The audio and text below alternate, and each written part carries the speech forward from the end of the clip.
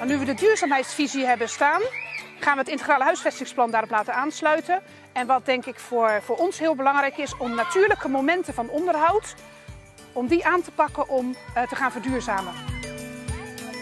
Met een energiescan krijg je een overzicht van de energiebesparende mogelijkheden van het gebouw. Deze plafondplaten in de hal moesten vervangen worden.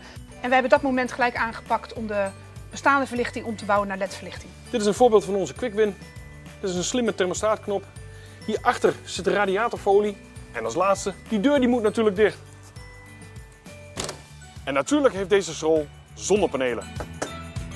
Het integraal huisvestingsplan is het, is het overkoepelende plan van, van scholenhuisvesting. Dus wat gebeurt er met scholen in de verdere toekomst? Het meerjarenplan ontstaat doordat we dat samen doen. Samen met de provincie, samen met de gemeente en samen met de school en samen met de inwoners en de kinderen.